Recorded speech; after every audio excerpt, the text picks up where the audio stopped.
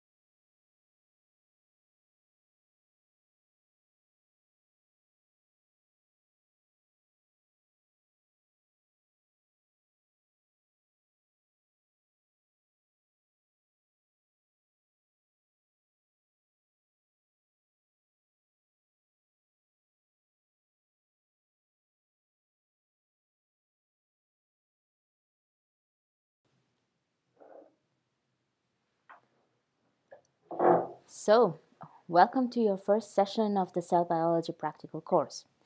My name is Mariana Araújo. As you might have noticed by now, this practical course will be held in English. So please, if you have the feeling that my pace is too fast or there is something you don't understand, don't hesitate to use the chat function, okay? So, my task is to give you an introduction to this practical course. Before we go deep into it, let me take you on a small journey. Let's pretend that we are at the bench and we are about to start an experiment. And every good experiment starts with a good plan. So, in order to plan an experiment, you have to take into consideration A, what is the question that you would like to address? B, what is the model system? So which cell lines you are going to use or uh, animal models or whatever. And as a third topic you need to take into consideration the methods. What would be the adequate method to answer the question? This same approach in terms of planning that I've just introduced to you has been used for us in order to set up this practical course. So, our first objective was to define what would we like to transmit to you? And we have decided on a so called package of methods. This is supposed to be a toolbox, a combination of basic methods that will accompany you for the rest of your scientific career. And you will, ever so often, come back to this pool of methods and use them to answer specific questions. So, in your let's say, preliminary tool pack of methods, we have in first instance cell culture. And cell culture is extremely important for us because as cell biologists, we use normally cells as tools to address our questions.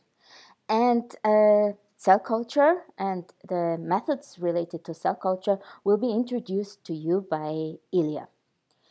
The cell culture procedures are then linked to a transient transfection in which we will introduce in cells DNA in order to express, overexpress a protein of interest. And then we can use this protein of interest to, be, to visualize, for example, where it is located within the cell. And this leads us then to the next method, which would be an immunofluorescence. So these first three methods, all of them, will be introduced to you by Ilja. Um, as I've mentioned, one can use immunofluorescence to detect, for example, the presence of a protein A in a particular subcellular location. But there are other ways how you can address the same question. For example, if you use a subcellular fractionation, which is a biochemical method, you can enrich for a specific organelle and look if this given protein A is located at the mitochondria or on lysosomes. And attached or as a consequence of a subcellular fractionation, we also would like to introduce to you one of the basic methods used in the analysis of proteins, and that is an SDS page, which allows us to separate and observe the proteins that are present in a given fraction, in a given sample. And this is also visualized by a Western blotting, in which you will observe the presence of your specific protein of interest in one or the other fraction. Subcellular fractionation, SDS page, and Western blotting will be introduced to you by Taras. And finally, you will see me back again here in the last day to introduce you to certain cell biology and viability and proliferation assays. Now, this is the working package that we have assigned to you. And as I've mentioned before, we will need not only an overview of the methods, but also to define which tools will we use, which cell line. And that brings me to the next slide. So what you see here is a table in which highlighted are commonly used cell lines in uh, every cell culture lab, lab that uses cell culture. All of them are immortalized cell lines, cell lines, meaning that they are capable of indefinite replication in culture, and they are all actually very different. As an example, if you start in the beginning of this table, we have 3T3. These are the so-called NIH 3T3 fibroblasts, mouse fibroblasts, that have been initially the, characterized by the establishment of the so-called 3T3 protocol. So the basic protocol defining that cells should be stripped split every third day at a concentration of 3 times 10 to the fifth cells. These cells are also important historically because, and also in practical terms now, because they have allowed us to grow, because we use them as feeders, both keratinocytes and human stem cells. Um, you also see on this list another example uh, would be MDCK cells. MDCK cells are dog-derived cells, epithelial cells, that are used in polarity studies and also, for example, in the establishment of 3D cultures of cells. Um, the list contains other cell lines, for example, PC12, we have, which have a characteristic neuronal-like phenotype, or for example HEK293 or 293 cells that are very easy to transfect and are therefore one of the most used cell lines in the biotechnological field. So we have a list of cell lines. So the next thing we needed to establish are the criteria of choice. So which should be the selection criteria for us to choose a cell line? We would like to use a human cell line. We would like it to be robust. This is going to be the first cell line you have in your hands. Then it should be something that is easy to transfect because you will do a transient transfection. It should be as flat as possible because you will do immunofluorescences. And finally, it should be fast growing. For your subcellular fractionation experiments, you will need a lot of material, and therefore it is easier for us if it, this would be a um, fast growing cell line. And taking into consideration all of these criteria, we came up with a choice of HeLa cells. So, HeLa cells have been derived in 1951 from a biopsy of Henrietta Lacks' uh, cervical adenocarcinoma that was collected without her informed consent. Henrietta died on the same year and she was aged 31. It took two decades until there was a clear statement of the origin of the HeLa cells. So in 71, the journal of Obstetrics and Gynecology identified Henrietta Lacks as the donor of the HeLa cells. And another two decades had to pass until her family, so the Lacks family, learned about the HeLa cells, so the biopsy that had been taken from her mother. And this occurred because uh, scientists have started a blood collection from all the family members in order to map the HeLa genes. So, and this was again performed without informed consent. 2013 is a big year. It, first of all, because uh, scientists were able to decipher the HeLa genome that was published without knowledge of the family. But on the same year, and for the first time, the family has been involved in the changes and they have endorsed restricted access to the HeLa genome data. Important is also for, for me to let you know that this also revealed to us, scientists working with HeLa cells for many years, that HeLa are actually very different than, let's say, a prototype human cell. In fact, the HeLa genome is considerably different from the reference uh, that has been acquired during the hum Human Genome Project. So they are not, um, um, they are uh, a cancer cell line and that is visible also in, their, in its genomic profile.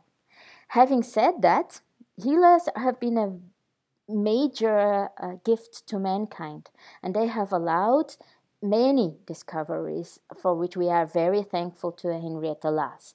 I think the most critical uh, development of all has been in the 1950s the um, development in the polio vaccine, the establishment of the first suitable poliomyelitis vaccine. And this has been followed followed in the 80s, both our, by the identification of the human papilloma virus, leading to the human papilloma virus vaccine, but also on the identification and the studies on HIV and AIDS that lead to the current uh, therapeutical approaches in this area. since HeLa has been the first cell line to be cultivated, it also paved the way to the establishment of the protocols for correct and suitable um, cell culture performance within the labs. And as a side effect, it has contributed to the establishment of the karyotyping procedure, so the identification of the number of chromosomes that is present within each cell line. Um, you can see from these lists that the list is really, really long. And it includes phenomena, for example, in the area of cell cycle control, uh, protein transport within cells, and also telomerase. All of these being linked to um, Nobel Prize uh, winners and Nobel Prize laureates. So, having discussed about HeLa, we then would like to introduce you to a biological question. What would we like to study and why? As cell biologists, one of the fundamental questions we would like to address is what defines the fate of a cell? Should a cell divide?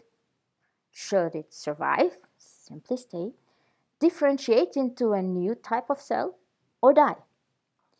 And in order to combine this biological question with the methods that I have introduced to you, we've decided that the easiest way would be to add a tool.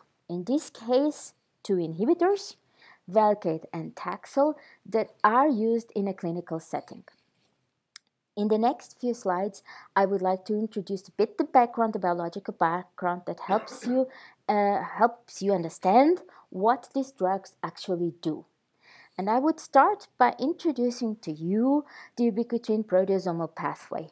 This is a very important pathway that controls protein catabolism both in the cytosol and in the nucleus. And you see, this pathway starts with a small, highly abundant protein, uh, ubiquitous, it, that is called ubiquitin. Ubiquitin can be activated by a so-called E1 in a process that requires ATP.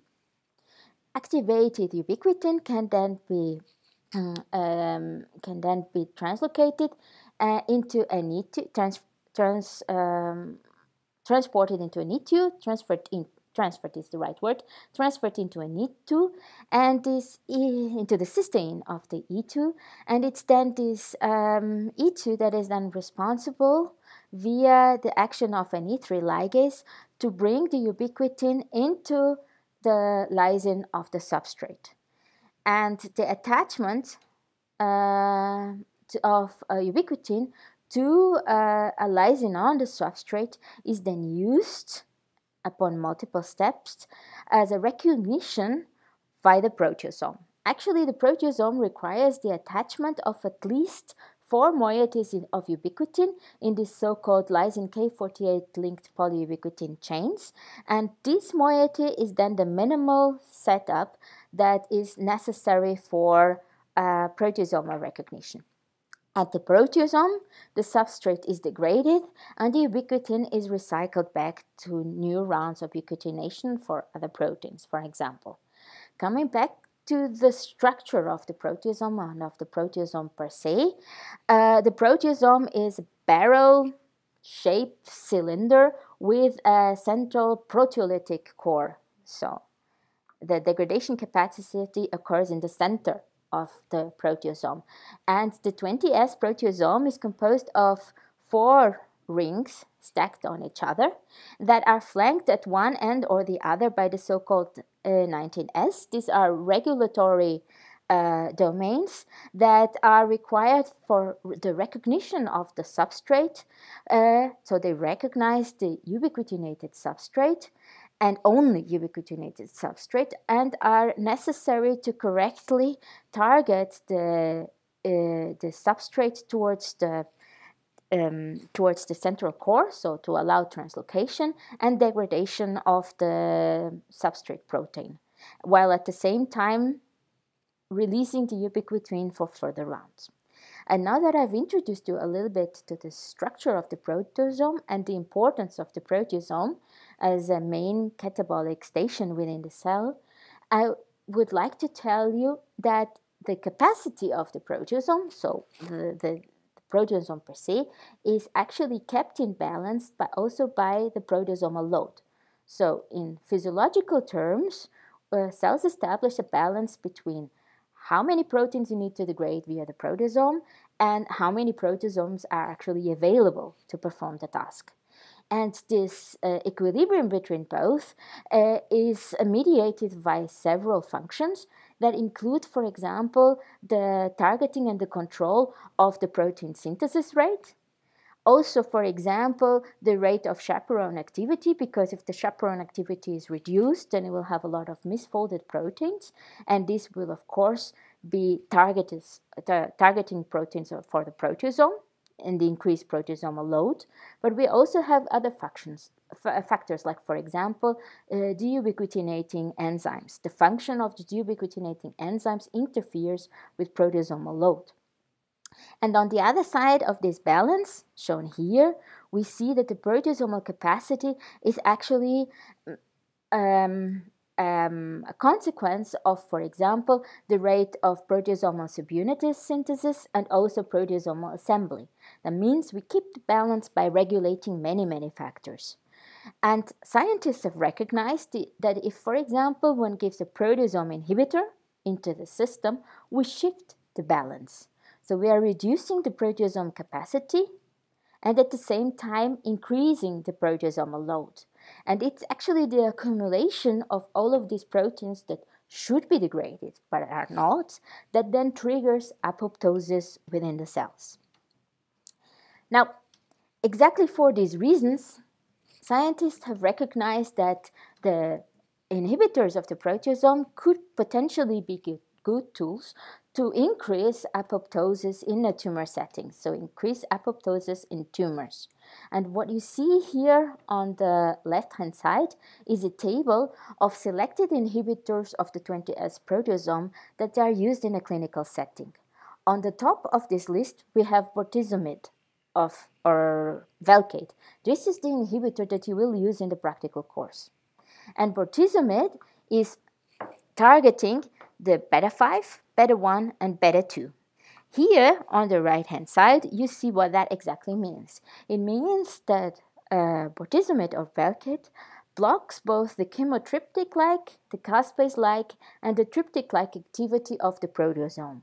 So it blocks all three of them, even though it has a higher blockage or a higher propensity to, propensity to block the chymotryptic function.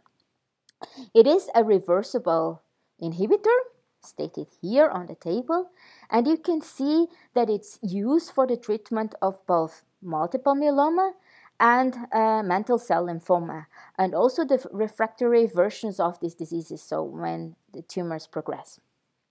It is linked to a number of adverse side effects that include, for example, vomiting and diarrhea and uh, infections. And therefore, because of its restricted use, being used only in a subset of tumors, and the presence of adverse side effects, scientists have tried to optimize and develop new 20S proteasomal inhibitors.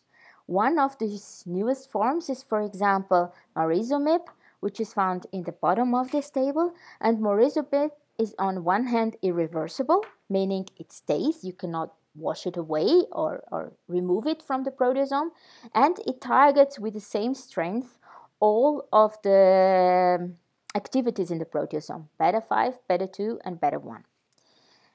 This is just to tell you that there are new developments, and because we will be using bortezomib in this course, I would like to take a few minutes to show you how Velcade or bortezomib actually contributes to cell death in the setting of multiple myeloma.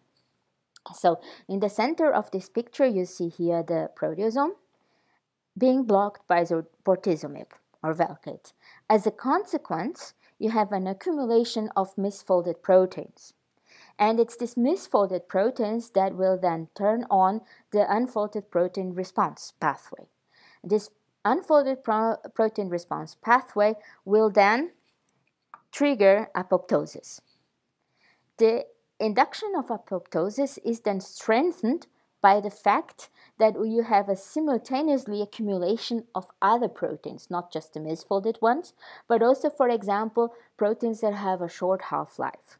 Short half-life means that proteins need to be synthesized and degraded in a constitutive and fast rate. So, for example, some of the short half-life proteins are those that are involved in cell cycle regulation. P21 and P27 are two of the proteins that get accumulated due to the fact that we block the proteasome, and they also lead to a disruption, disruption of the cell cycle progression with concomitant increase in apoptosis. And there are also other proteins that increase the apoptosis rate. Uh, for example, P53, from which you already heard a lot, but it, the blockage of the proteasome increases P53 levels, and it also increases, for example, the levels of NOXA both of them leading to an increase in apoptosis. So, in many ways, the inhibition of the proteasome leads to the accumulation of proteins that then triggers, through several cascades, the increase in apoptosis. Now, um, because the targeting of the proteasome is just the final step in this cascade, and as you've seen people have tried to devote, scientists have tried to devote quite a lot of attention to interfering with proteasomal function, they also uncovered that it could be possible to target this ubiquitin proteasomal pathway at different stages in the process, and therefore try to avoid some of the side effects that have been seen before in the treatment of patients in the clinics. One of the ideas is, for example, the targeting of E3s, the E3 ligase that is necessary to conjugate the ubiquitin to the lysine in the substrate. And just here as an example, SCF E3 ligases, this is the cullin E3s family of E3 ligases. This is the broadest family of all, and it includes um, proteins, so E3s, that are involved in the regulation, on one hand, of cell cycle proteins, but also in proteins regulating uh, DNA replication. So these are, for example, good candidates for the use in a clinical setting. So I hope with this to give you a bit of an introduction of how Velcade function and what we are targeting in this system. So targeting the ubiquitin proteasomal system and I would like in the next few slides to switch gears and introduce you to the second of our drug targets, and that is Taxol. And I cannot start talking about Taxol without bringing you back to microtubules. You've heard of microtubules before.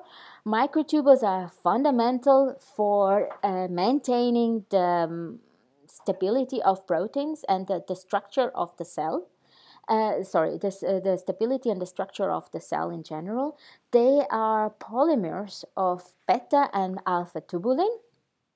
And these dimers of alpha and beta tubulin uh, assemble in so called protofilaments, these linear structures that are shown in here. And it's the assembly of these protofilaments then in a larger structure, in these cylinder like structures with lumen, that we then call microtubules. And uh, microtubules play many critical roles. One of them is represented here. They are involved in polarity and also in intracellular transport.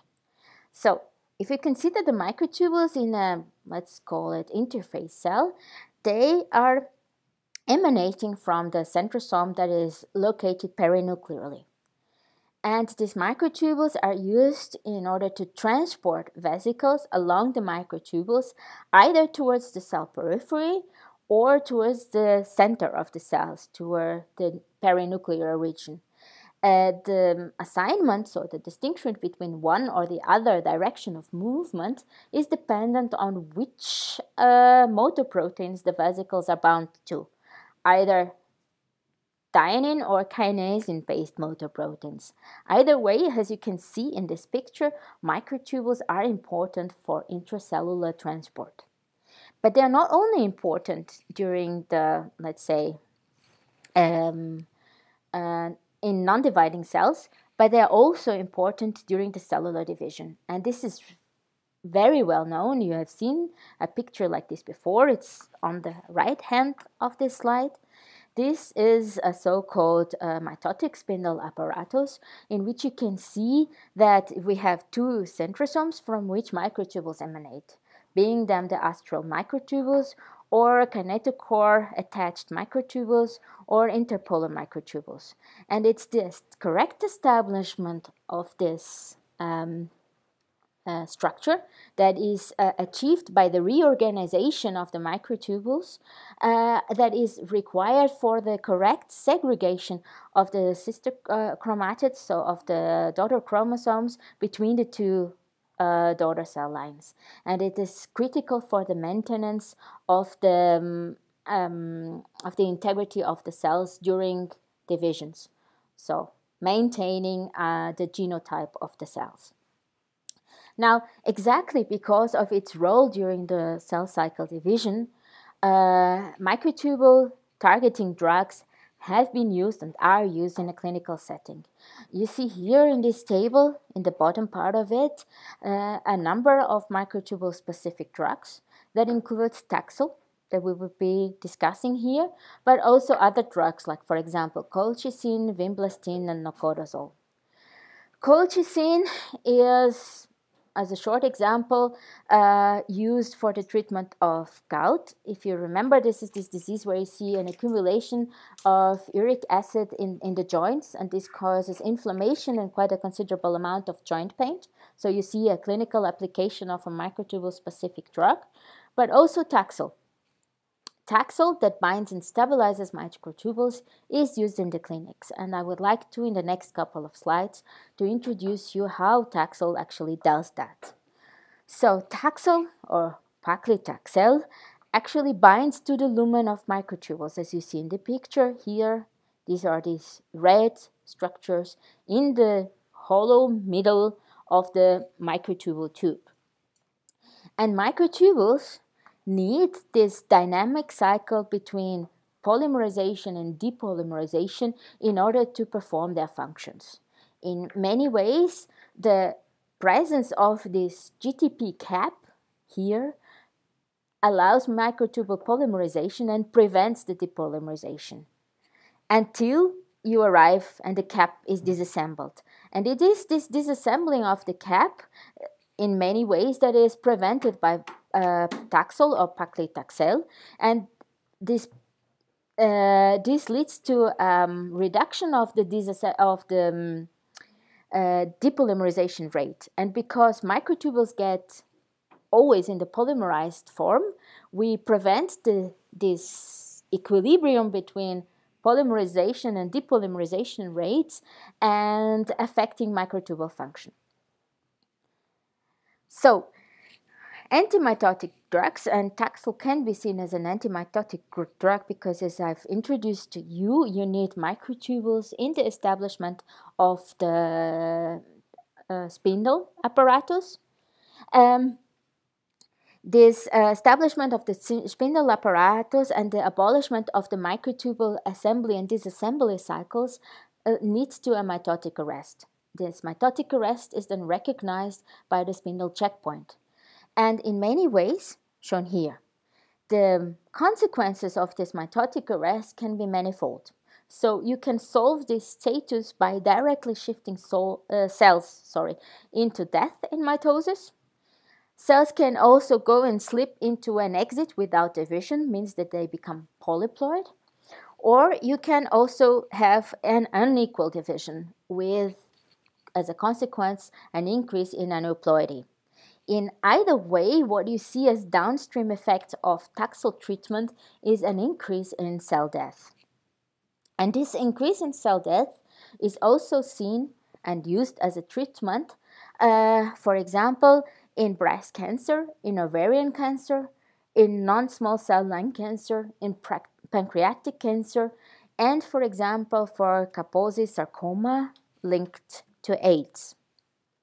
Now, if you use Taxol at concentrations that are somewhat equivalent to those seen in the treatment of the patients, we often see that uh, Taxol or paclitaxel doesn't lead to a mitotic arrest but is often associated with multipolar spindles that are able to slip over, uh, spill over, so, so they pass through the mitotic uh, stages and can not be arrested. And what you see is the formation of anaphases in which the chromosomes are segregated into multiple directions as a consequence of these multiple polar spindles. And these uh, unusual anaphase like structures are linked then to a partial cytokinesis failure and considerable levels of aneuploidy with concomitant increase in apoptosis. So either way, independent of the levels at which you use Taxol, what we see is mitotic arrest or a slippage through with strange uh, anaphase um, structures that we actually end up with increased cell death. Having said that and introduced you to both inhibitors, I would like in the last few minutes to bring you to an example from the lab. So, what could I somehow use as an example of these two inhibitors? I would like one hand to give you a feeling of the cells in the cultivation system and how they look like when they are treated. And do this in such a way that you can see the effect of those drugs in a time dependent manner, so over time. For this particular purpose, I have used the cell line of choice, so the HeLa cells that we have discussed before, and I, and I have transfected them with mCherry H2B. So they are expressing a red fluorescent form of H2B. And H2B or histone H2B, just as a reminder, is one of the core histones on the nucleosome in which the DNA wraps around. So what you see here in the picture on the bottom is an image of these HeLa cells in culture. And you see that they have different levels of this mCherry H2B. Some have hardly any, some have a little bit of the tagged version of the histone, and some have a lot of it. Important for you is also, and I hope that you can appreciate that, that we see different shapes of the cells. There are cells which are quite broadly flat, they are nicely sitting down on the dish. There are some which uh, have a very leading, you see here this, these accumulations in the front of the cell. This is a so-called leading edge. So the cell is moving in this direction and it has a rear edge. This is the back of the cell, so to say. And you see that it has a very clear moving morphology. And you also see that there are other cells, for example, this one over here that is round up, or these two on the right hand top side. So cells can assume multiple shapes. Why is that? One of the reasons behind it is that there is an intrinsic relationship between the cytoskeleton and the cell cycle. So in order for the cells to divide, as you have seen, they need to round up. And this um, rounding up to uh, establish the mitotic spindle is then uh, dependent on a regulation of the cytoskeleton. So cells need to round up, then perform cytokinesis, and then come back to a kind of adhesion, complex formation, possibly migrating form.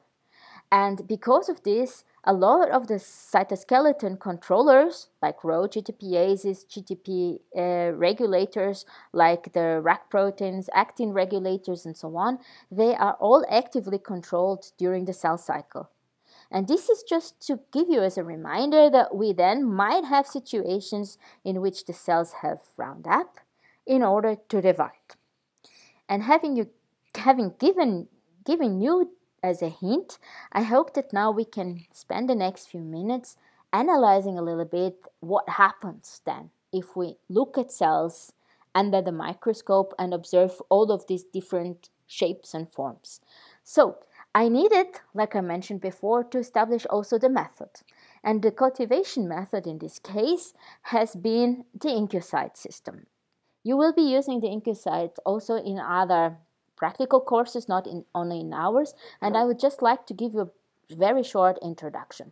So basically what we have is, uh, here you see a kind of uh, a table that is introduced into a machine that contains on the bottom the objectives.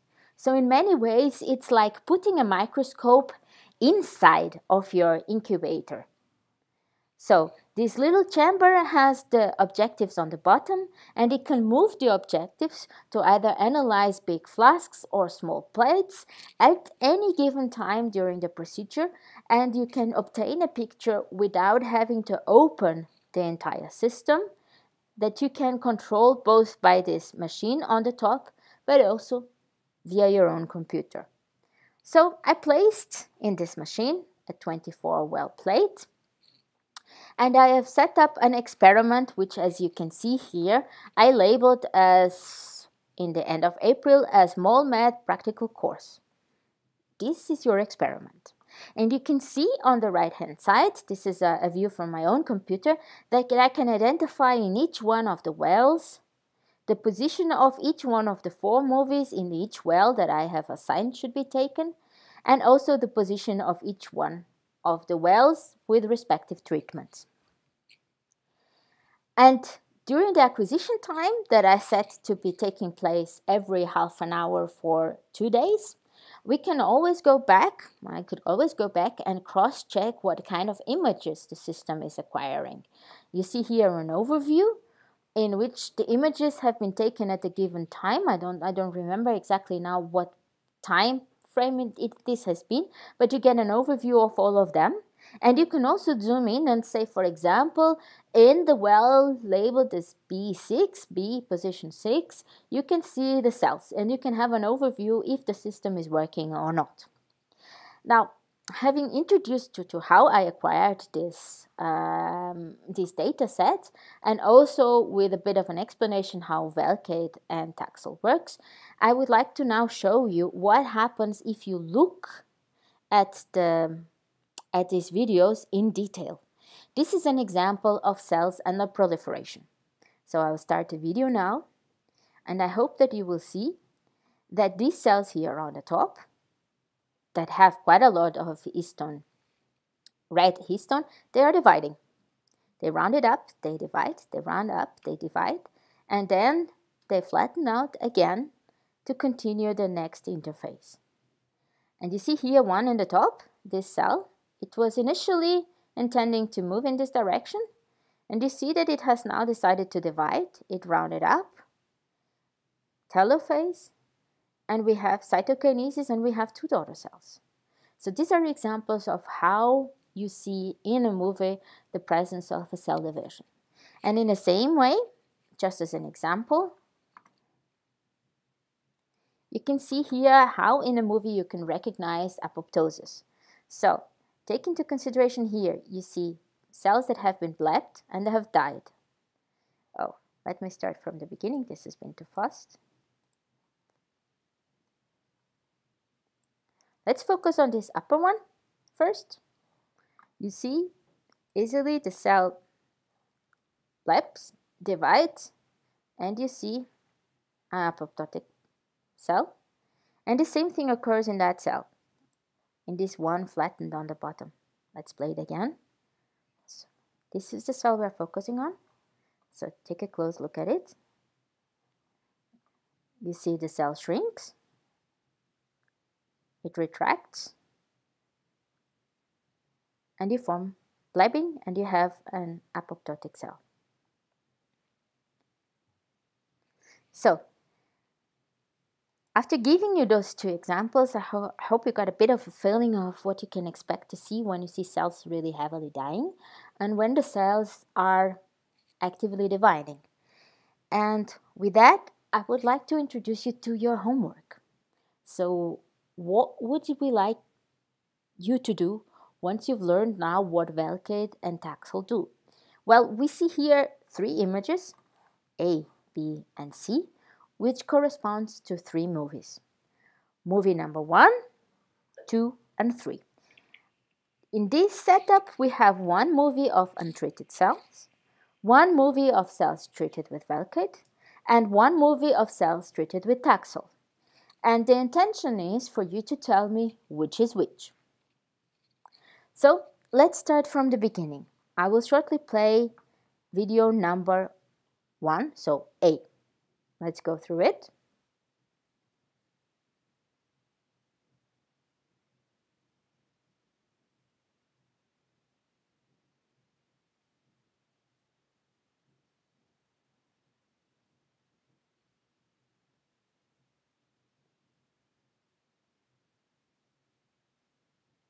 Is the message clear?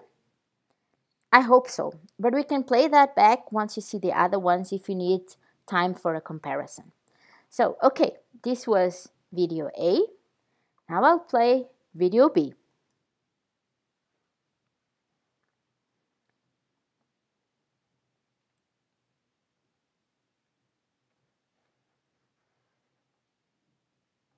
Do you recognize that the cells have round up before they actually go into death? Let's see. I'll play this video again just to demonstrate what I was referring to. First you see a large number of cells rounding up. This is the stage I'm referring to. They're all basically rounding up. And then you start see increased cell death.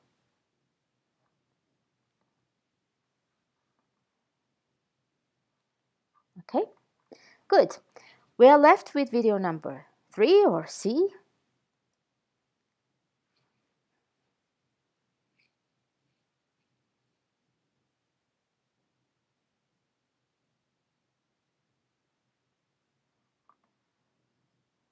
Take a look at the situation here or there.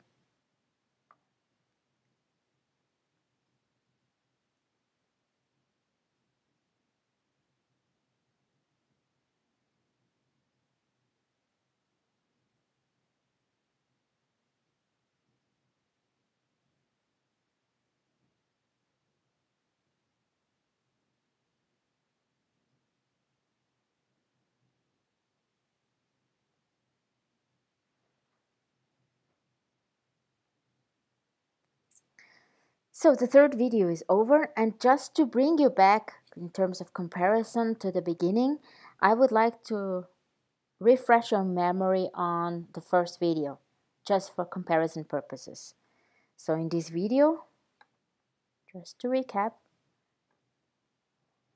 see something happening here, there, here, over here, Well, I hope you have a clear picture of the three options. You can uh, later on provide us the results, provide me with the results of those that homework.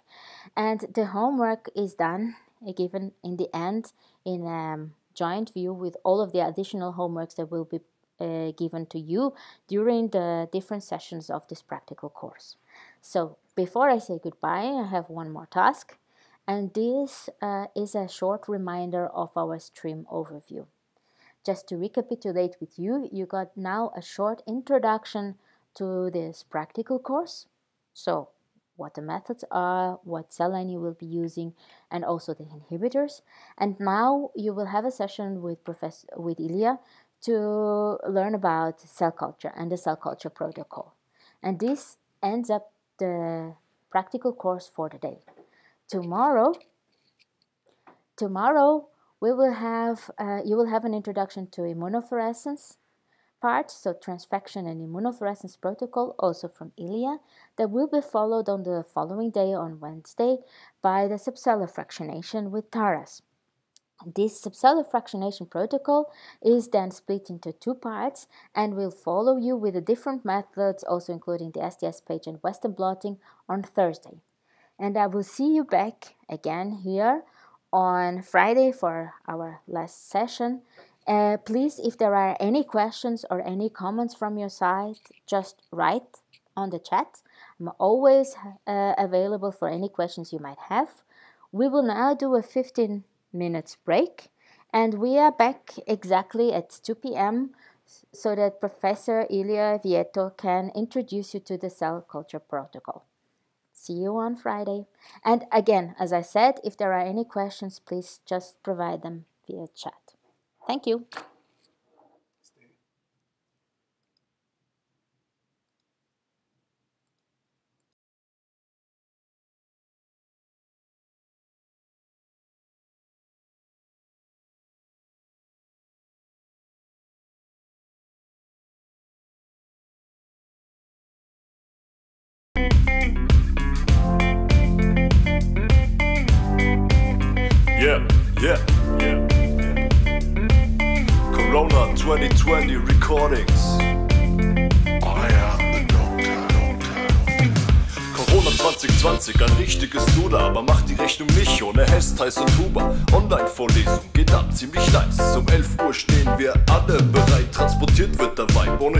Ohne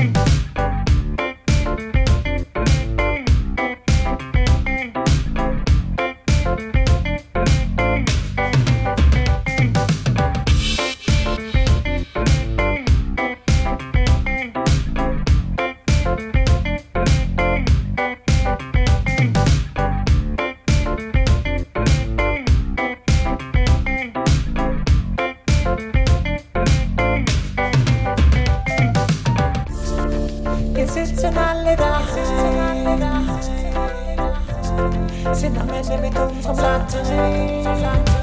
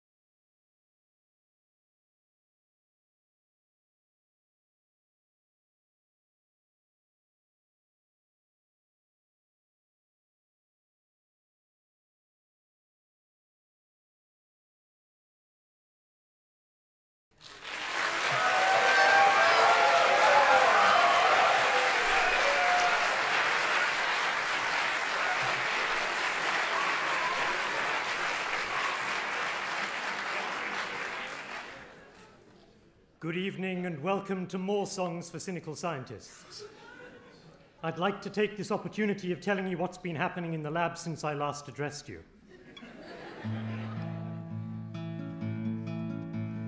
First slide, please. Now I'm sure you'll all remember what I said here last November when I said what I had discovered with such ease.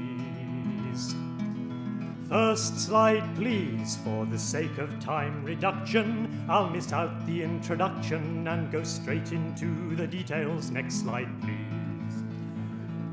Next slide, please. This shows NMR 3D of MPF and TBP. We PCR'd P53 and I cyclins A to Z, as you can see. Next slide, please. Can you hear me at the back? Well, can you hear me at the back? Oh, now the microphone's got feedback. Next slide, please. Next slide, please. Please, can someone shut that door or stop the rock group in next door? And please, can someone kindly catch that swarm of bees? Next slide, please. I'm sure you can't make out the tracks, cause this has just come in by fax. I'm still expecting several more, so next slide, please. Next slide, please. Now, this curve that goes straight down shows stimulation upside down or just a crack the wrong way round. I'm not quite sure. Next slide, please. Can you go 13 slides back? Or is it 16? I lose track. And no, I meant the left projector. Next slide, please.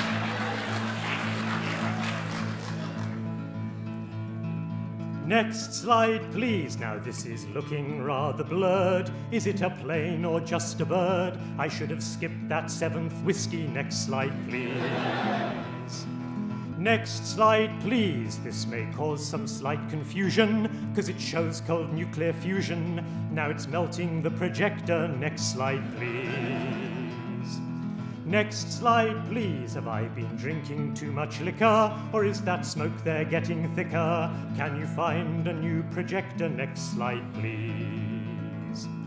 Next slide, please. It looks as if I'll have to shout. The fire alarm is winning out. Can you just try to pay attention? Next slide, please. Next slide, please. I don't think this slide can be seen. That fireman's hat obscures the screen. Can you just wait until I've finished? Next slide, please. Next slide, please. Now I'm feeling rather manic, but the audience's panic. Won't disturb my concentration. Next slide, please. Next slide, please. Now this looks like apoptosis. Can you turn off those fire hoses? Cause the water level's rising. Next slide, please. Next slide, please. I'd like to thank the organizers, those two penny pinching misers.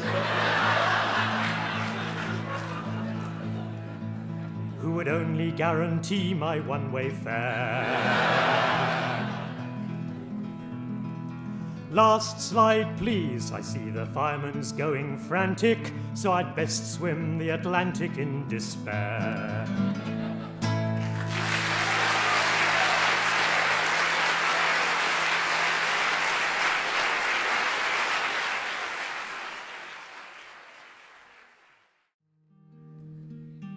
This is a nightmare experienced by most scientists. As I was walking one summer's morning. I made my way to the library.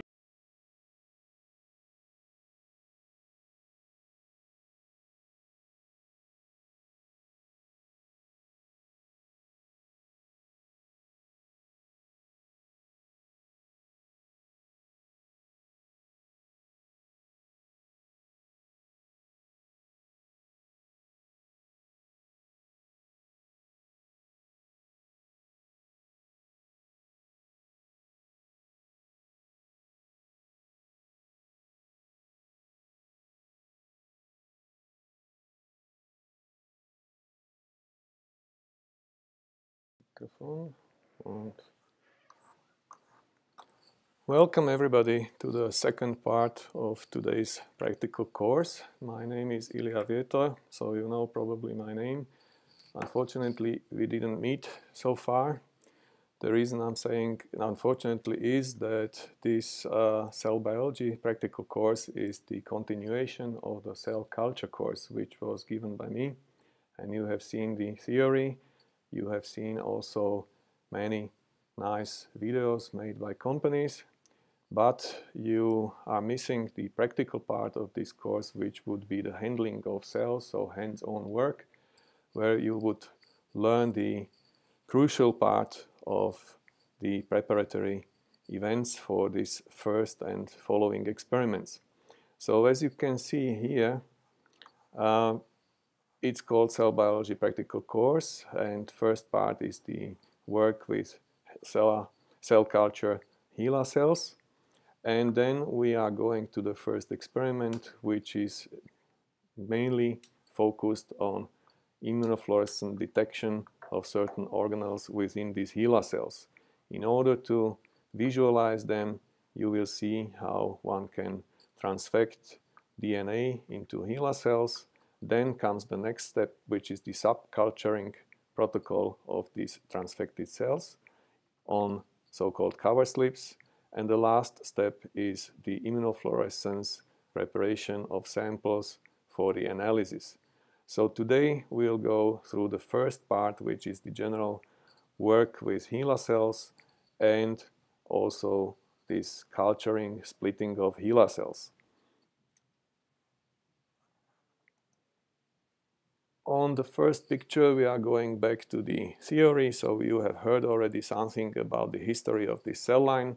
What I have prepared for you here are two crucial images. They are coming from the catalog of the company which is called ATCC, which stands for American Tissue Culture Collection.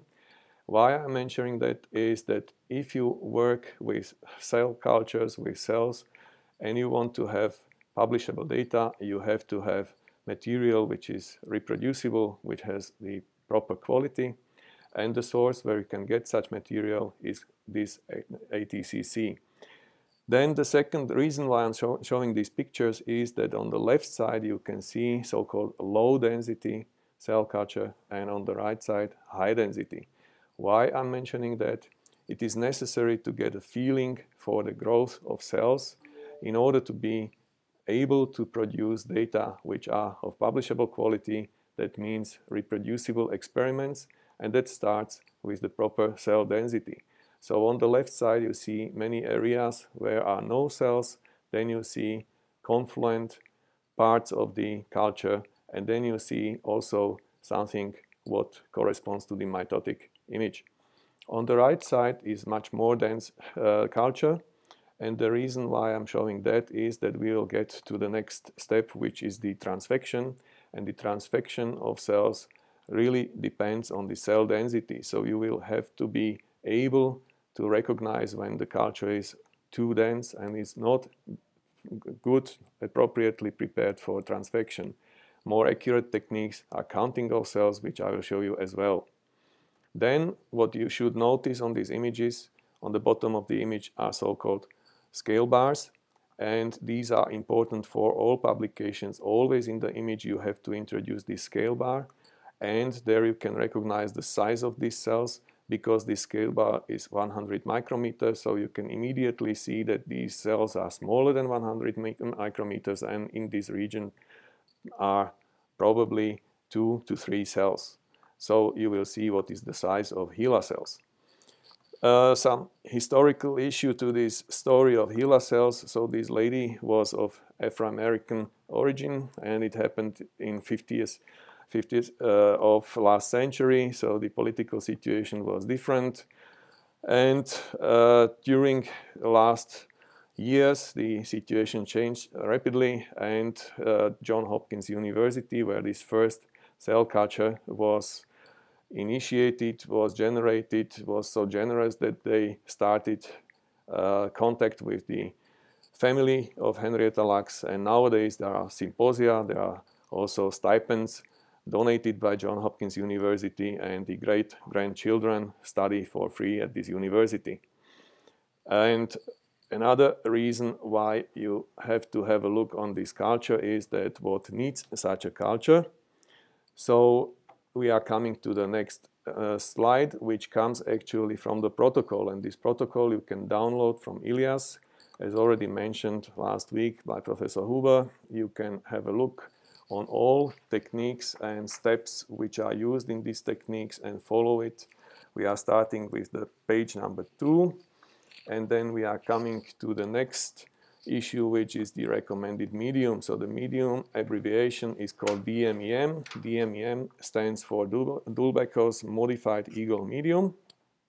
And uh, the composition of this media is all around the world the same, but it is very important to notice what is the actual concentration of components in this medium, which you will find in the uh, catalog of company where you can buy this media. So what do we have in this medium? There are non-essential amino acids, vitamins, L-glutamine, high glucose, phenol red, and so on and so forth. Now I would like to test how many people are following online. So please, if you are online, use the chat function and try to write down what is your idea why in a medium for cell culture we use phenol red. So I will go on and I will explain you the rest of the composition of this medium, but those of you who know the answer, please write it on the chat. So non-essential amino acids, that's clear. Vitamins is, is clear as well. L-glutamine and high glucose are sources of energy for the cells. And as you have seen, this tumor cell line HeLa they are growing very fast and they form a confluent uh, monolayer first, so they need a lot of energy. That's the reason why this medium contains high glucose. Then it contains also 10% FBS. FBS, the abbreviation stands for fetal bovine serum. It is important to notice what you use, so it's either fetal bovine serum or the fetal calf serum, that's the same, but it is not calf serum. So you have to be careful. Why? Because this is source of growth reagents which are necessary for the growth of the cells. So growth factors are in this serum. The next practical remark, since this is a practical course, is that you have to test each batch of such a serum in your particular cell line. And if you have a good one, then you order from the company a larger stock and you use it all the time, the same uh, batch of serum. The last component is the mixture of 1% penicillin and streptomycin. These are antibiotics which are necessary for the cell culture. Why it is mentioned here? Because the presence of uh, these antibiotics affects the efficiency of certain procedures as for instance transfection. So that technique which we will use is not affected by them, but many others are affected. So you have to be very careful if you have it in the medium or not. And the exact concentration of these antibiotics is mentioned here on the bottom of the page. There are certainly other types of uh, antibiotics as for instance ganciclovir and so on, but these are not commonly used in cell cultures only in exceptional cases when you get some contamination, but my advice is, advice is not to use them because once cells are treated with some other antibiotics, then they are all, almost all the time changed and they don't correspond to the original phenotype. So if you have the chance, don't use such cells. So we get already first answers by students in the chat who say that probably for staining of the cells, so that's, that's not the accurate and correct uh, answer. As a pH indicator, that's the correct response. This is what we wanted to see. Maybe as an indicator of what is not clear, these changes in pH levels is once again the correct answer. pH indicator, pH indicator, that's correct. So this pH indicator is important because that pH of the medium corresponds to the density of the cells.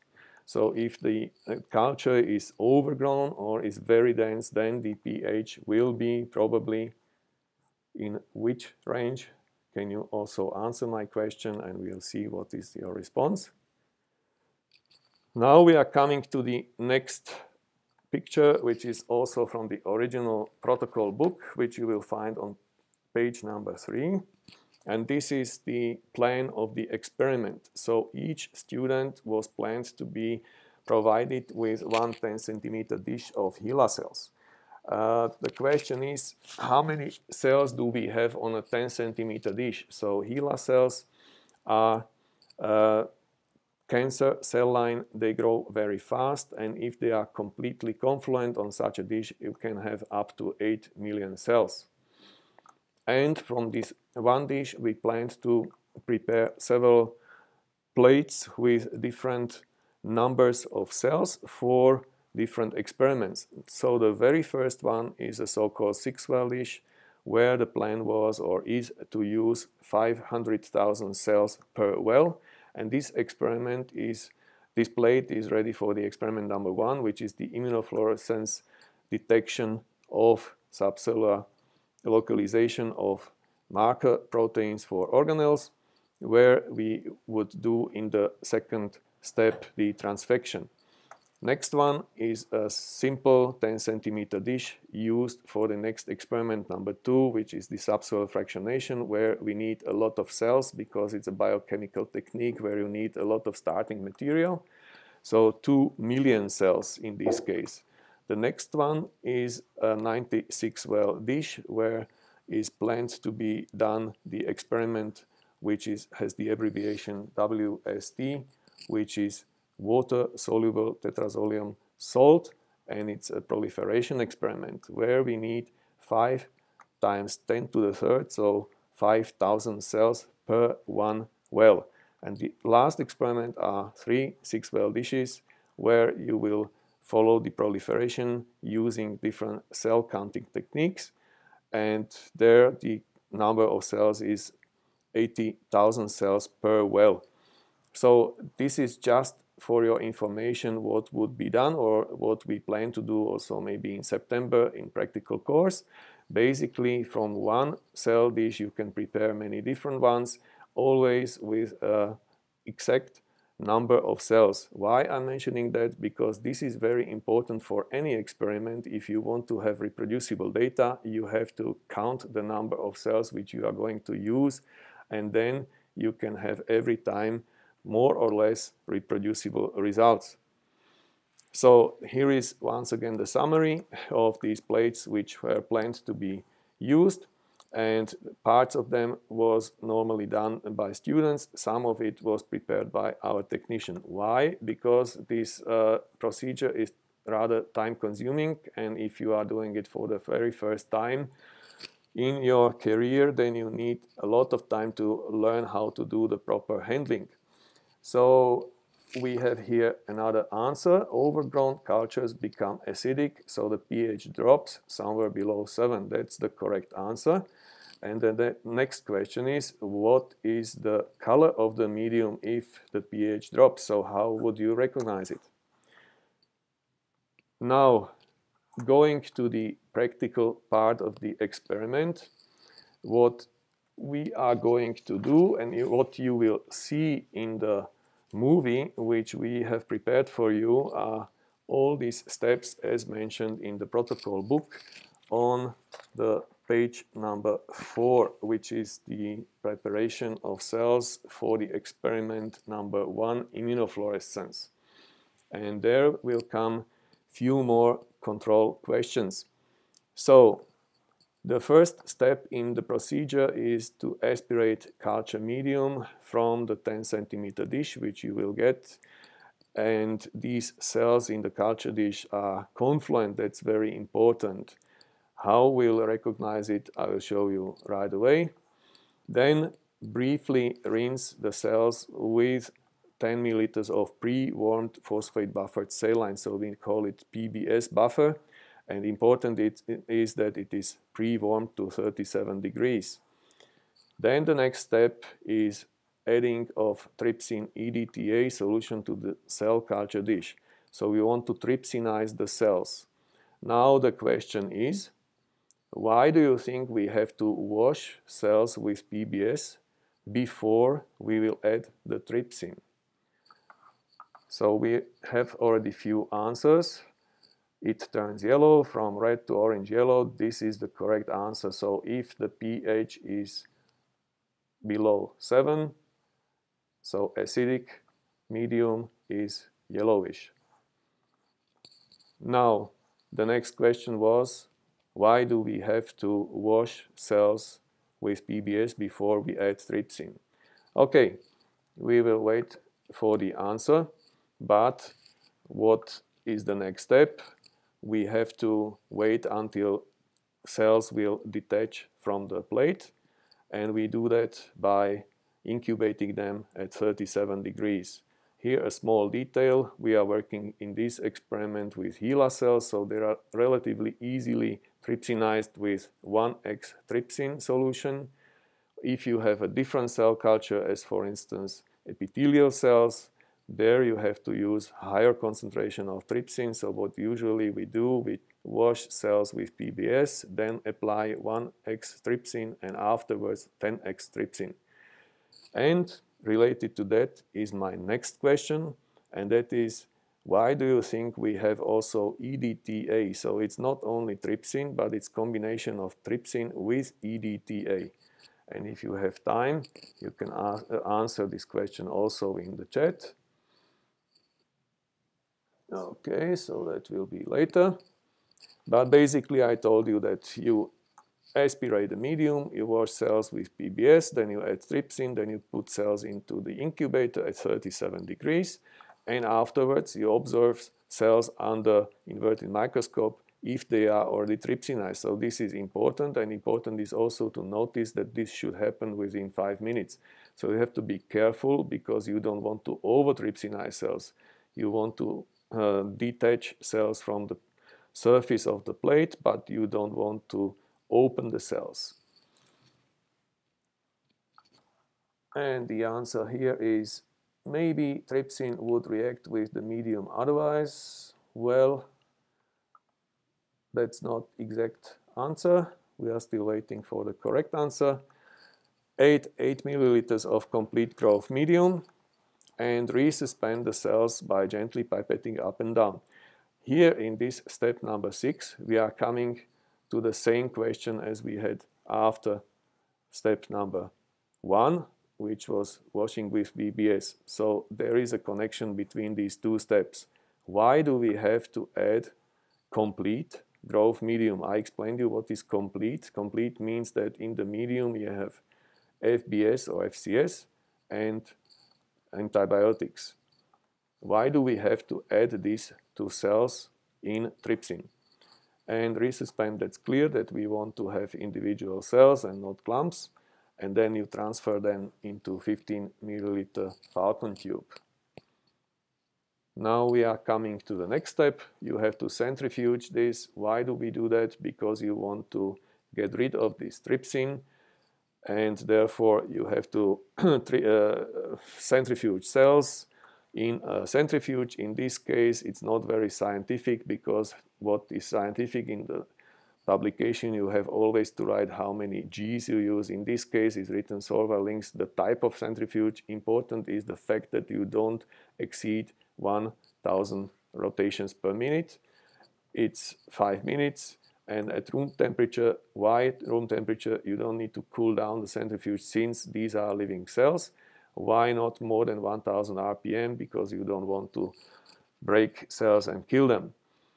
In the meantime, you should prepare medium in the new 6-well dish, which is labeled here according to the procedure which will follow this step, and that is the transfection. The first well will not be transfected, the next one is transfected with Rab5 DNA, and the next one with Rab7 DNA. Why to prepare 3 milliliters of the medium? First of all, you want to have the same dilution, same volume of medium in each well. Secondly, if you use very small amounts of cells, you don't want to put them on a dry dish, but you want to mix them immediately with the growth medium, so you prepare this first. After centrifugation, you have to first aspirate the medium containing trypsin. So this is important. This is the proper way how to handle cells. The other option would be that you uh, use so-called dry trypsinization. We are not doing that in our practical course. We use this protocol. So you aspirate the medium containing trypsin. Afterwards, you resuspend cells in exactly 10 milliliters of medium. Why? Because you need to count the cells. So you need to have always the exact volume of the medium where you have your cells. The next step is counting cells. I'll show you in the video how we do it using one option, one nice instrument with relatively very accurate result. And the last step is to add exactly 500,000 cells per well in this six well dish. This is also important because you need to have reproducible data. Cells usually grow in a different speed, so you need to know how many cells to use on the day before you do the transfection. Why, I will show you later tomorrow. And then the next step is to resuspend these cells in the medium. So we want to have a homogeneous uh, suspension. Afterwards, you incubate them in the incubator with the constant temperature 37 degrees, 5% CO2 and humidity. So we have here a few more answers. Uh, one is uh, that uh, maybe it can remove dead cells from the plate and also many media contain serum which inactivates trypsin. So the second part of this answer is the correct answer. This is what I wanted to hear. So the answer is that if you add, add your complete medium containing also serum, then you inactivate the activity of trypsin. Why? Because there are anti-trypsin inhibitors in this medium containing serum. Uh, PBS is pH buffer, uh, is also buffering, that's correct. But basically, we want to get rid of the full medium before we add trypsin. When cells are washed with PBS beforehand, because the media for the cell culture contains FBS, correct, FBS contains protease inhibitors and stop trypsin protease. And why EDTA is once again repeated question by Professor Huber. So please ask, uh, answer also this question. In the meantime, I will proceed to the video. So now, don't leave the computer. This is the most important part of today's presentation. We tried to uh, video record all steps. Uh, this is just an example, so this is not really the accurate protocol from your protocol book, but the, there are the most important steps which you need for any trypsinization and preparing of cells for experiments. So if we start here, the very first message which I have written on the bottom is clean everything with 75% ethanol. What means everything? So you have first of all to clean your hands uh, where, where you use gloves but you have to clean also the working surface in the laminar flow. How it works and so on you have heard or you have seen on the videos which I have presented in the cell culture course. And here you can see a small detail which is also important only because this movie, when we wanted to make a close-up and to show you some details, we moved this front side glass uh, side higher. But normally when you work in the cell culture hood, you have to have it at the proper height, which is somewhere here, because otherwise it's not functional. So starting with this movie here, you can see that we have prepared the different sizes of gloves. You always use them because these are human cells and on one hand you can contaminate your cell culture, on the other theoretically, but you can also contaminate yourself. Now be careful because here comes the next question. Why do we use 75% alcohol and not 100% alcohol? Try to answer this question and write it in the chat. So I see here is already an answer. EDTA activates trypsin. No, that's not correct. EDTA is a metal chelator. It detaches ions. Trypsin is now able to work better. That is uh, partially correct. But the main idea is that EDTA is an chelator. So calcium, magnesium from your medium will be chelated and that helps to detach cells from the surface of the Petri dish. So you are not only trypsinizing cells by uh, disrupting interactions between cells themselves, but also between cells and the surface of the plate. And for that, you need the EDTA. So don't forget the next question is the 75% ethanol. Why 75 and not 100? And we'll come to that later. Now, after this step, which is really important, you take cells out from the incubator. So the incubator, as I said, has 37 degrees, 5% CO2, 97% water humidity. On the bottom of this incubator, you can see a metal tray. And in this metal tray here is water.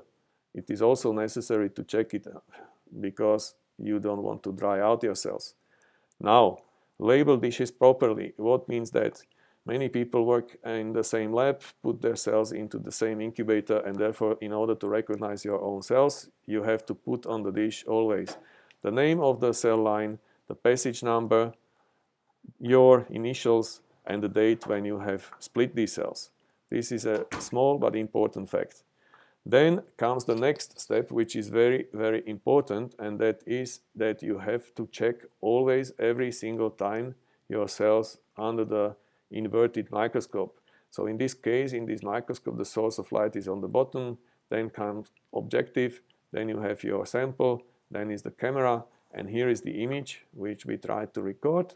So what one can see here, first of all, when you move the plate, you see immediately if there are floating cells, which would be dead cells, and that's a bad sign, or if you have there nicely adherent cells.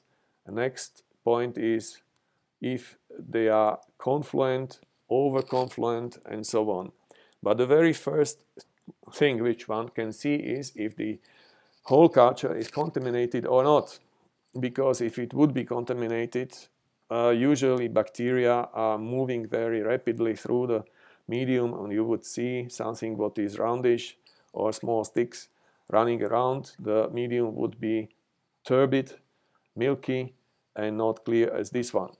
The next thing which you can see here are these few rounded up cells. So these are not adherent cells anymore. If you shake the plate, you will see that they are moving around. But this is not a bad sign. This is normal, this number of cells. Then the next thing which you can see is an area where they are confluent. And here you see post-mitotic cells. Then what you can see here in this area is uh, a space not covered by cells, but cells which are looking for the neighbors. So people, uh, these cells, they like contact and therefore they make protrusions and they are searching for neighboring cells and you can see nicely these protrusions here. And by working with cells after a certain time you can already predict that this is probably 70 to 80% confluent plate which is important step for the transfection or fact for the transfection. You have to have cells which are approximately 70 to 80% confluent. So we have few more answers here. Because if you use 100% alcohol, then it immediately denatures the proteins of the bacteria at the very surface, thereby creating sort of a protective layer. That's the exact answer. This is very correct. 100% ethanol coagulates the proteins instantly by building a, a, protein layer which protects other proteins. The microbes are uh, in dormant stage. 75% ethanol penetrates slower, yeah, because it's not evaporating so fast. Would work fast. A layer of that material would protect the bacteria exactly. So this is nice that you know it already and you know how to work properly. So the next step in the protocol was to use the PBS trypsin. We have to be careful, they have to be warmed up to 37 degrees. That's the reason why I'm showing you this water bath here, because we are working with uh, living cells, you don't want to shock them. And what you see here is 1x PBS and 1x trypsin, so be careful, everything has to be properly labeled. Don't use a concentrated PBS or trypsin. The next step is clean vessels with ethanol from top to bottom. Why from top to bottom? Because they were standing in this water bath, so on the bottom is theoretically maybe something like contamination. It should not be because you have probably noticed that the water was bluish. That means that there is a special detergent in the water bath and it should not be contaminated. Still, you go from the top to the bottom, you clean your vessels, and then we go to the next step, which is in the tissue culture hood, in the laminar flow. It has to be properly organized. This is a small detail which is also shown on these professional videos that you have to have things always left and right in a way that you don't go with your arms above an open petri dish so you don't contaminate anything by dropping uh, pieces of uh, dirt. Then you have to open the tubes, prepare for pipetting because you will have only one hand free.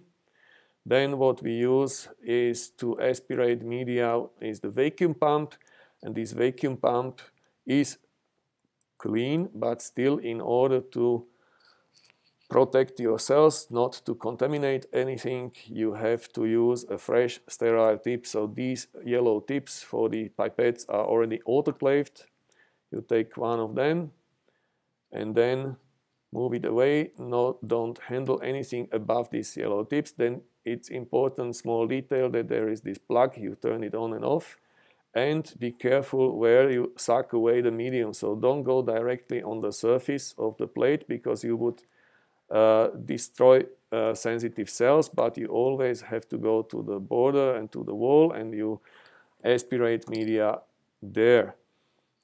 Next step, after you got rid of this medium is that you wash cells with the PBS. So PBS is pre-warmed and then you will see that we use these disposable pipettes. It's a small but important thing because we had this problem before. Some of you had never ever pipetted anything in the lab, so you open carefully this part of the pipette and be very careful, never touch anything with the tip of the pipette. This can happen if you are under stress, you are working quickly. In that case, you have to immediately discard such a pipette and take a fresh one. Otherwise, you would contaminate your cells. Even if the surface is cleaned with ethanol, even if your hands are clean, it can always happen. So always be careful and tip should not touch anything.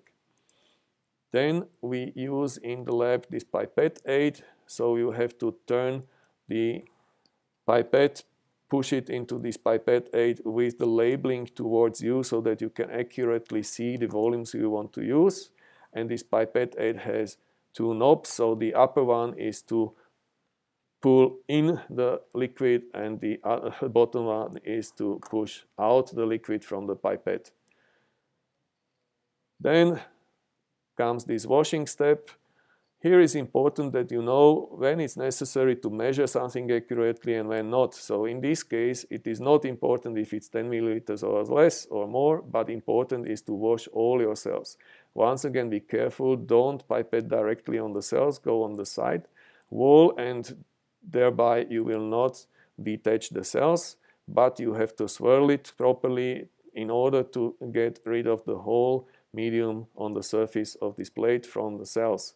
Then one small detail is shown here. Everything what was somehow in contact with living cells, that means medium, in this case PBS and so on, has to be discarded in a safe way. So all solid waste, in this case the pipette, go into this biohazard waste, which will be autoclaved and only afterwards discarded. Everything what is liquid, we aspirate with this vacuum pump where it is mixed the, with the special detergent and discarded after autoclaving afterwards. So this is an important fact. You have to be careful when you work in the lab and not uh, throw everything into the same trash. So the next step is aspirating PBS. Small detail you have seen also in the professional videos the lid has to be upside down. The reason is that the, the air here went through the filter in the laminar flow and therefore it's safe. it's safer than the surface of your laminar flow. Then you aspirate PBS, you do it also on the side. Everything because you don't want to dilute trypsin.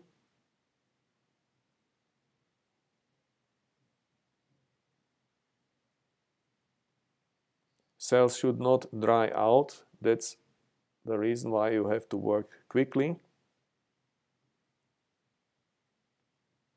Then you have to know how much trypsin you use. It is not really important volume, but important is to repeat the same volume for all your samples because you need to balance it afterwards during the centrifugation. And it is important that the whole surface of the plate is covered with this trypsin solution. So it's, in this case, 1x trypsin.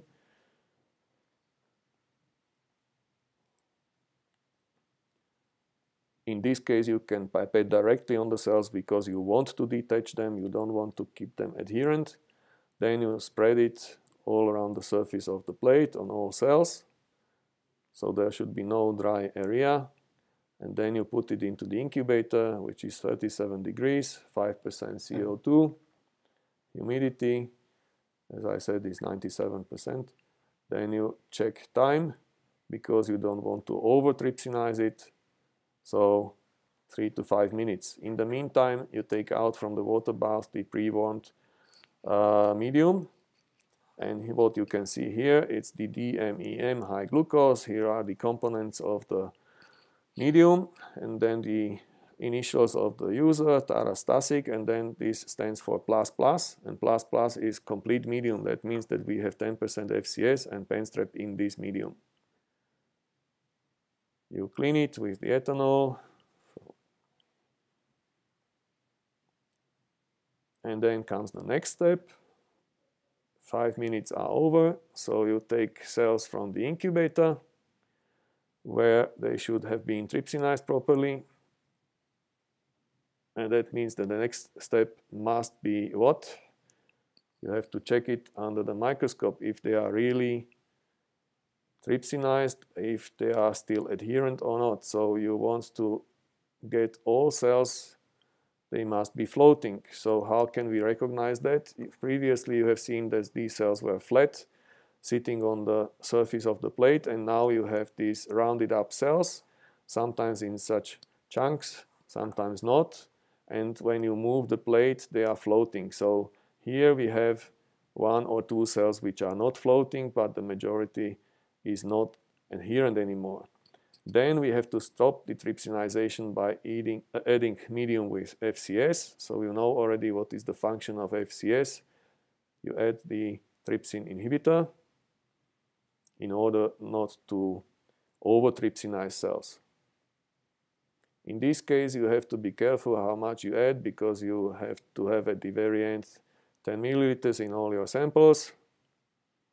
So the total volume is 10 milliliters. We had there uh, one or two milliliters of trypsin, so we have to add now medium, wash down all cells from the surface, collect them on the bottom, and uh, in this case we have plenty of cells, but if you want to be really careful, you repeat this step several times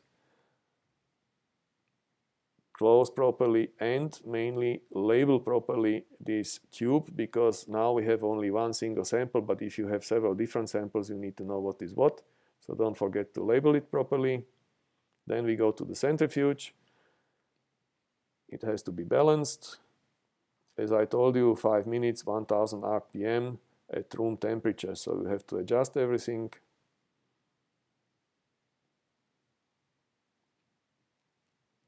This is an important step because if you use too high speed, you will damage your cells. So now five minutes centrifugation and afterwards you should see a pellet on the bottom of this tube. You will see that nicely afterwards when I will aspirate the medium. So here is the pellet and that gives you certain information if you use different types of cells, transfected cells, and so on. You see if they grow evenly or not, if you have larger, smaller pellets, if you have enough step, uh, cells for the next step. So first is to aspirate this medium containing trypsin. In this case, you can also tilt the tube you will not lose the pellet, but you have to be careful. And now you can nicely see the pellet of cells. And this was the medium. So if a little bit remains there, nothing happens because we will dilute it with the next medium coming afterwards. So this is the pellet. And the next step is to resuspend the pellet and resuspend it exactly in 10 milliliters. Why exactly 10 milliliters? Because you want to count the number of cells, so you need to know in which volume you have your cells. If the pellet is huge, then you have to use a little bit less of media, but that you will see nicely in the tube because it's calibrated tube, so up to 10 milliliters. The next step is resuspend. Resuspend means that we pipe it up and down. You have to be careful not to make bubbles because these bubbles will not be healthy for the cells. They are killing cells, so you have to know how to handle this pipette aid. You also need to watch the upper part of the pipette not to suck in the medium into the filter, which would destroy the pipette aid. Now don't forget that you have to put this into the biohazard waste and after that we are going to counting of cells. So for this purpose I will show you one procedure where you need a small epi. You add into this Eppendorf tube 10 microliters of trypan blue. So now comes another question. Who knows what is trypan blue good for? And we'll go to the next step. So 10 microliters of this trypan blue will be prepared for each sample separately in an Eppendorf tube and we will add 10 microliters of our cell suspension.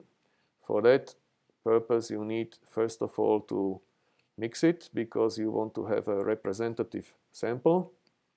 Then you take these 10 microliters and pipette it to the 10 microliter of, uh, microliters of trypan blue, mix it properly, and then take out from these 20 microliters 10 microliters and put this on something what is called cell counting slide. So you will see the detail afterwards.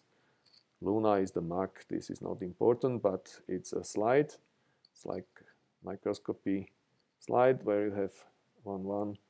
You can measure two samples with each of these slides. You add your sample here. You fill it completely with these 10 microliters, and then we proceed with it to the counter which is here. So I'm not going to do any advertisement for this particular product, but it's a practical one which is based on the image analysis. And we use bright field cell counting. Why image analysis you will see immediately. So we put this sample into the instrument and then you see the same way as with the microscope your sample you have to look for cells. So you can move the image until you find enough cells. In this case, there was very low number of cells. That's the reason why we see here only one, two, three, maybe this is probably debris. These are intact cells. In order to focus properly, you have to enlarge zoom to 4x and then focus properly. You see, should see such a ring, which is the cell. And then you start the counting. And at the end of the counting, you will get a result, which is uh, the major advantage of this device. Since you see that we have in this sample 2.36 times 10 to the fifth cells in 1 milliliter sample. However, from these are only 1.75 times 10 to the fifth cells live, and we have also dead cells. So the viability is interesting fact uh, which we have learned from this counting is 74% are live cells. Then average size, which is linked to the previous information which you have seen on the uh, picture which I showed you of HeLa cells. So the average size of our HeLa cells here is 17 micrometers, total number of cells which were measured. And the reason why I'm showing that is that for the future experiment we need only live cells naturally, not dead cells. So this information is the important one. 1.75 times 10 to the fifth is in 1 milliliter. And we have 10 milliliters, so the next step is to calculate how much, what will be the volume which we'll use for the next experiment. Here are the answers coming. So what is written here? Trypan blue can stain dead or damaged cells, while healthy cells don't get stained. This way you can see whether the membranes of many cells have been damaged or not. Yes, this is the correct answer. Trypan blue is used to distinguish between living and dead cells, dead cells that incorporated while living don't.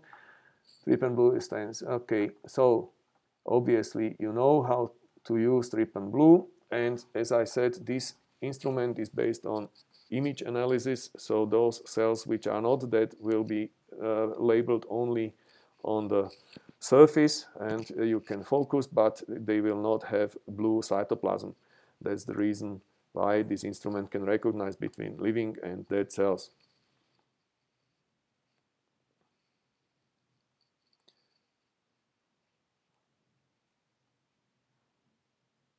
So this is our protocol book. Sorry, I was slow. And this is my calculation. So what we have from this measurement, the result was 1.75 times 10 to the fifth living cells in 1 milliliter.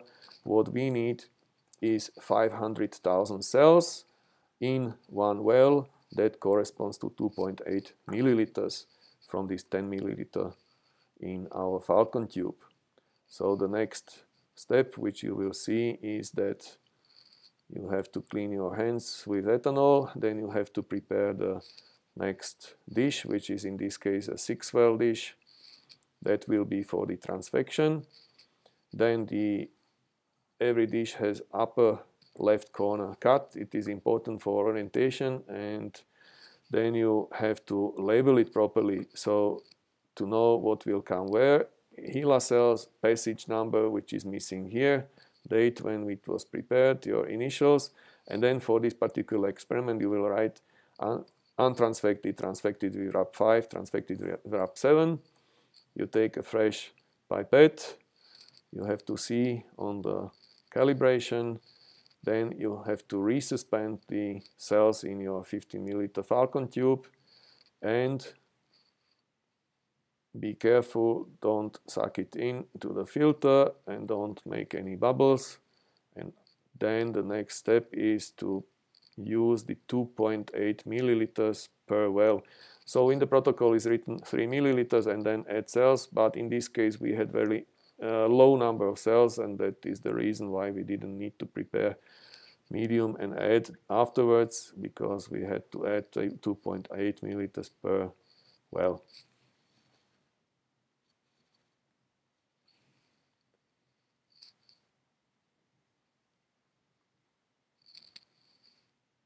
So this is the second well, then exactly the same for the last one.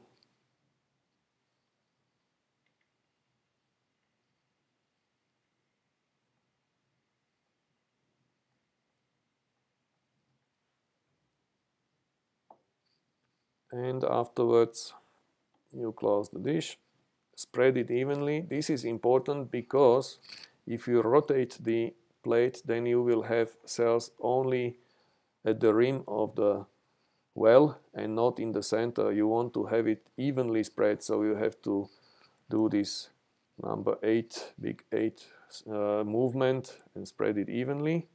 Then you put it into the incubator and you close the door gently. Don't smash the door. It is a small remark, but an important one because if you do that, the whole uh, incubator will shake a little bit and then you will not have cells uh, evenly spread around the whole plate, but you will have it only at the edge of each well. So that was basically it. This was the first part of the practical course. And if you have any questions, please ask in your chat section. So I have asked you several questions. You have answered correctly. We have here something more about trypan blue is used for cell counting. You can check on cell viability and so on. So I hope that everything was clear. And as we said last week, the advantage of this course compared to the classical one is that you could have a close look on each step. You could see things which usually 29 students don't see above the shoulder of the person who is demonstrating these steps. So I hope that you enjoyed it and you will join us tomorrow. And we will stay online for additional 10 to 15 minutes. See if you, if you have any questions, free, so feel free to ask us or you can send also emails afterwards. Thank you for your uh, attention.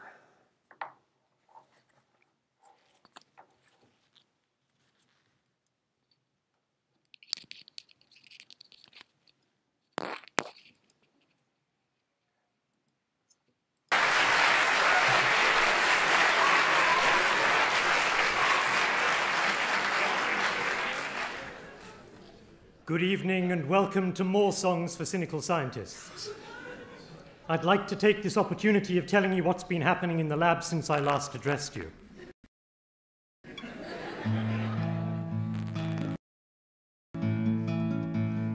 First slide, please. Now I'm sure you'll all remember what I said here last November when I said what I discovered with such ease. First slide, please. For the sake of time reduction, I'll miss out the introduction and go straight into the details. Next slide, please. Next slide, please. This shows NMR 3D of MPF and TBP. We PCR'd P53 and I peaked cyclins A to Z, as you can see. Next slide, please. Can you hear me at the back? Well, can you hear me at the back? Oh, now the microphone's got feedback. Next slide, please. Next slide, please. Please, can someone shut that door or stop the rock group in next door? And please, can someone kindly catch that swarm of bees? Next slide, please. I'm sure you can't make out the tracks, cause this has just come in by fax. I'm still expecting several more, so next slide, please. Next slide, please. Now, this curve that goes straight down shows stimulation upside down or just a crack the wrong way round. I'm not quite sure. Next slide, please. Can you go 13 slides back? Or is it 16? I lose track. And no, I meant the left projector. Next slide, please.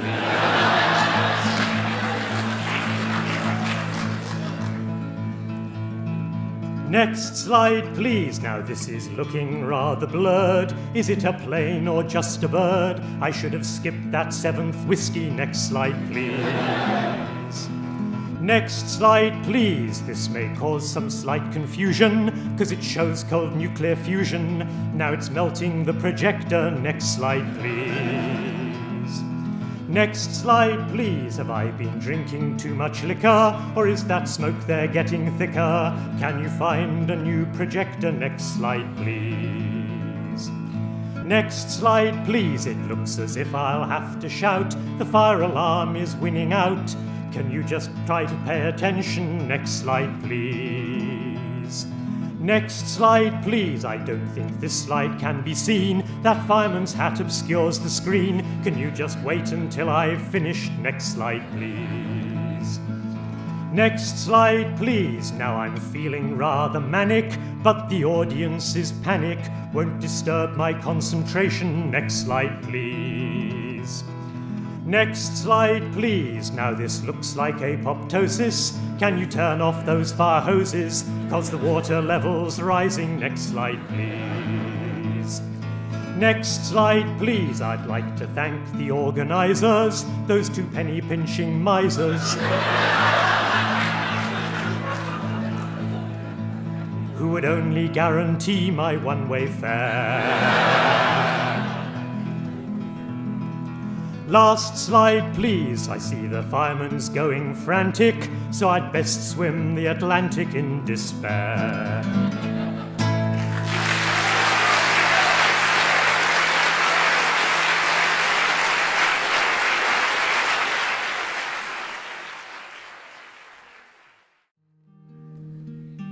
This is a nightmare experienced by most scientists. As I was walking one summer's morning, I made my way to the library in search of wisdom and education. I scanned the journals so eagerly I picked up nature and looked inside it. And lots of adverts I there did see for PCR and restriction enzymes, for cloning kits and HPLC.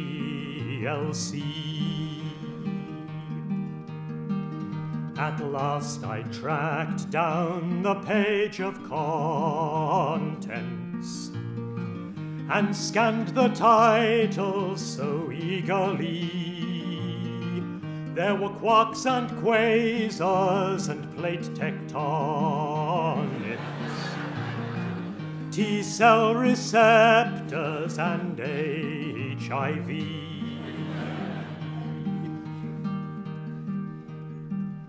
And as I browsed through the latest scandals,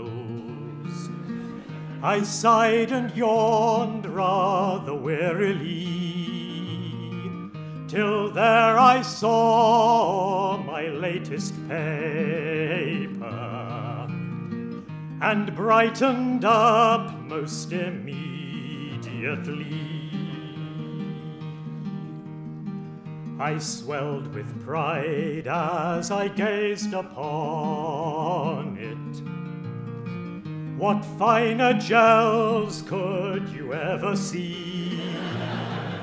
And every figure was as we'd planned it. Models of logic and clarity. But then I paused in deep contemplation. A nagging doubt stirred to trouble me. It was just three days since we'd sent the paper. There was no way this could be by me.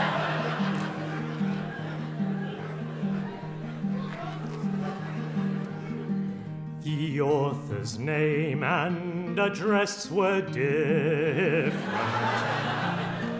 All other features were just the same.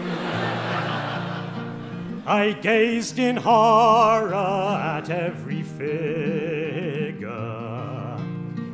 There was no doubt we were scooped again. I muttered oaths as I gazed upon it. I mopped the sweat from my fevered head.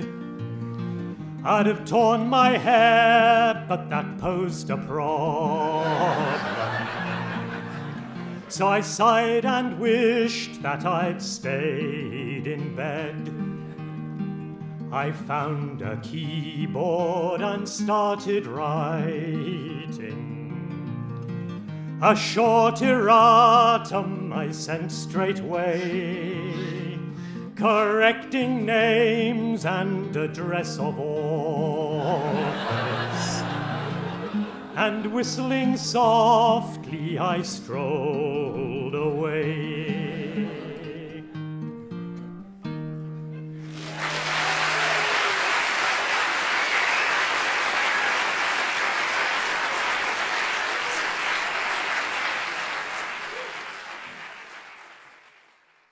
That described one familiar sort of scientific